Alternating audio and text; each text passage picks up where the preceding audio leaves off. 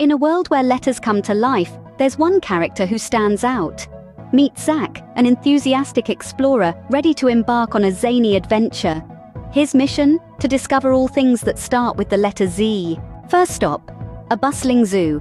Listen closely, can you hear the zebras? Their stripes are as unique as the letter Z itself. What a wonderful start to our adventure. Zack has found zebras, which indeed start with the letter Z. But the zoo has more to offer.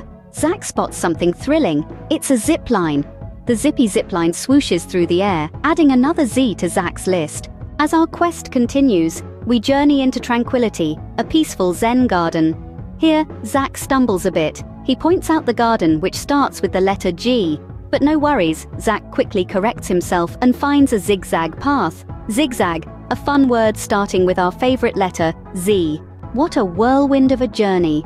Through zoos, zip lines, and zen gardens, our friend Zack has shown us the zany world of the letter Z.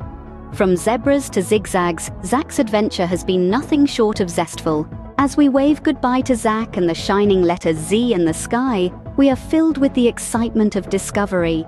We've learned, we've laughed, and most importantly, we've found the zest in the letter Z.